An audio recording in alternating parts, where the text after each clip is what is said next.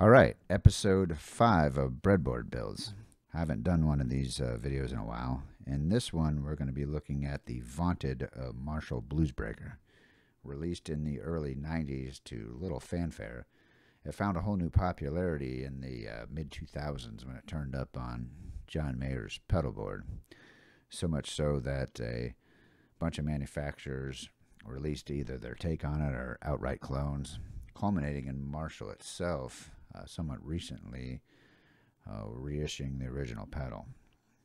For this one, um, I'll give a uh, explanation of circuit operations, then get into sounds. I'm not going to too much get into uh, mods on this one.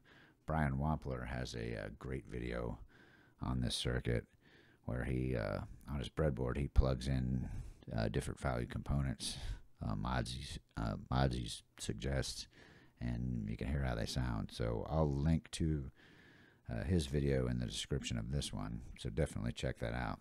So uh, let's get into it. I'll start at the input section. Uh, notable to me are the resist resistor values here. We got a 2.2 megohm to ground pull down resistor and a 1 megohm uh, bias resistor. Uh, very good for uh, input impedance. Guitar being a low output impedance, we want to match it with a high input uh, high input impedance amplifier stage, and this does just that. Um, signal goes into the non-inverting input of the uh, first op amp stage, and then we see the characteristic feedback loop with its tail off to, in a lot of cases, it's ground, but in this case, it's the uh, bias voltage. Um, what I say about this section is that these components do actually affect uh, frequency and gain. For example, if you lower these resistor values, the gain of the amp goes up. If you increase the resistor values, uh, gain goes down. And it also, they work in with, with these capacitors to shelve off some frequency.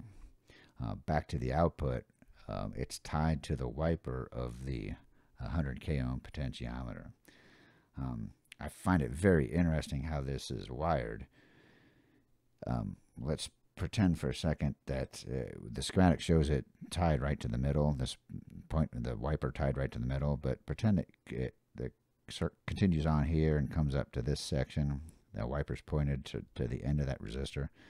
The entire resistance is now in that uh, op amp uh, feedback loop, which means the gain is at maximum. Uh, conversely, if you imagine coming off this op amp and coming to this part, the wiper now pointed to this, there's no resistance in this feedback loop. And uh, so the amp is unity gain, and it now has to overcome that 100 k ohm uh, attenuation going on to the next stage. Uh, I knew I said I wouldn't do any, say anything much about mods, but a mod that people do with a lot of overdrives and distortions is you can increase this potentiometer value um, put a higher value resistance in that feedback loop and the gain goes up. In this case, yes, that will happen. Back to assume the wiper's here and you put a 500K, you would have a 500K ohm resistance. This gain would go up. But when you roll that back all the way back down, you're going to be back to zero ohms of resistance in that feedback loop. And now you have 500K ohm of resistance to overcome going into the second stage. Um, speaking of the second stage, we'll get into that. I, I, I think it's interesting how this circuit is set up, where this first gain stage actually drives the second one. A lot, a lot of times you'll see uh, the the clipping diodes in this first section. They'll be a, across here, and you'll have everything all in one. And that second stage will be um, just another just amplifier stage, or sometimes a, a EQ, active EQ um, stage. Um, in this case, the clipping stage is it's it's the second stage, and it's dependent on the drive from the first stage. Also interesting to me is this second stage. Once again, op amp with a feedback loop. Um, that that 220k ohms sets the gain level for this op amp until you forward bias these diodes. When you when once you uh, and in this case we got four instead of the usual two. You got four uh, diodes. So 0.7, 0.7, you got a 1.4, 1.4 both ways um, to, to, to open those diodes up. When you do that, it introduces this 6.8 k ohm resistor, which then puts it in parallel with the 220 k ohm, which brings the resistance way down, which in turn brings the gain of that amp down. I find that interesting. As soon as you start clipping, you bring the they're bringing the, gain of this amp down. Um, off of this amp stage, we could then go into our our uh, EQ stage, and interesting with this is there's always some kind of EQ going on, uh, the way it's set up. Um, looking at this wiper, we'll again, like we did before, pretend this wiper is here. Your signal is going to come through, and it's going to path of least resistance. It's going to the your main filtering stage is going to be the 6.k and the 0.01 microfarad. If the wiper is down here, you're now introducing that 25 k ohm bit of resistance in there. So so now the 25 k ohm factors into your your your shelving. Um, off of this, we go right to the output, and we have a 100 k ohm pot uh, for for volume. And again, a wiper here, you'll get maximum uh, output level uh, uh, out of the the pedal. If you come here, it's got to overcome that 100 k ohm resistance, and so your volume is going to be a lot lower. And of course, your blocking DC cap and a pull down resistor uh, to ground. Um, because before we get into some sounds, I will say I didn't. I, I mentioned not much about mods, but um, I think I would like to kind of do my own take on the circuit, and it being I'm curious back to how these two stages are interactive. If I didn't increase the rail voltage of this first op amp stage, maybe make that 18 volts, and that way uh, we get a higher amplitude before any kind of clipping here and really smash that second stage with a with a with a higher gain signal. Um, of course, I would have to have to rebuild the circuit because I would require two ICs. This is a single IC, and that one IC has one supply voltage, so it would be two ICs, 18 and 9 volt, and be interesting to hear that sound. So if I do that, um, I'll make a follow-up video. I'll build it and see how it sounds, and and uh, put a video out and and and see what you think.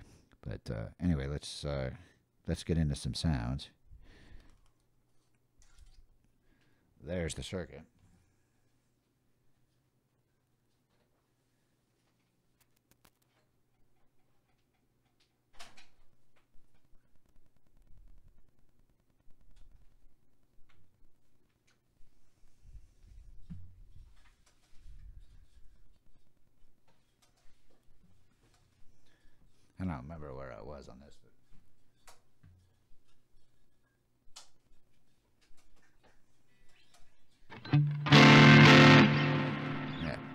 Is definitely on.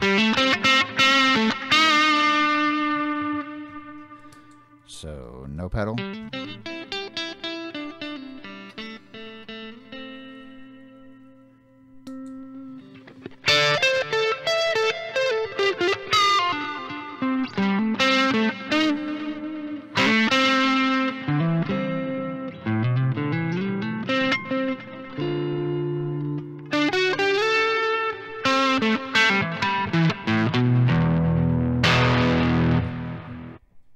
Say the guitar is a Squier Strat with a Marzio uh, Cruiser's neck and middle and a, a, a super distortion in the bridge.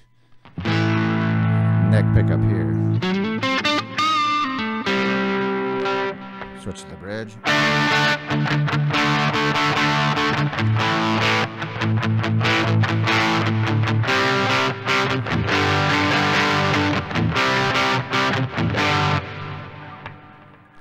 Let's roll the gain down. I had that pretty much cranked up. I'm sorry, I messed up.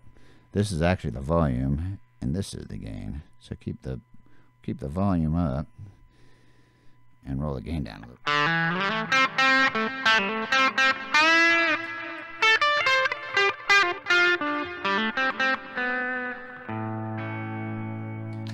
Neck the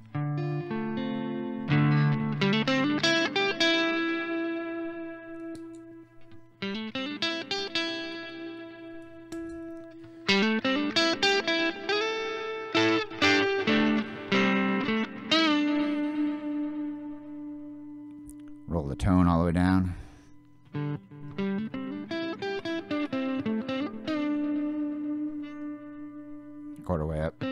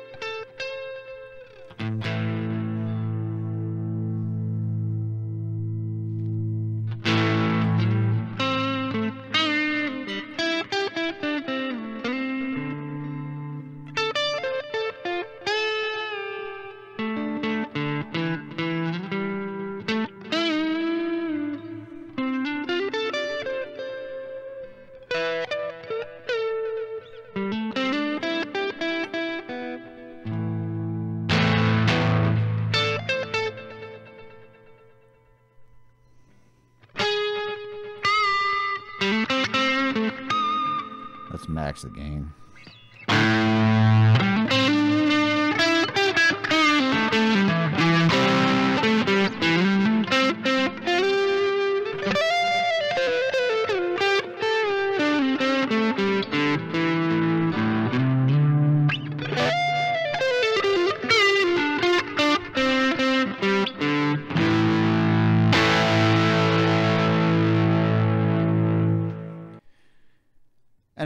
That's uh, my look at the Marshall Bluesbreaker. Um, uh, thanks for watching, and uh, look for the uh, next installment of this one. Thanks.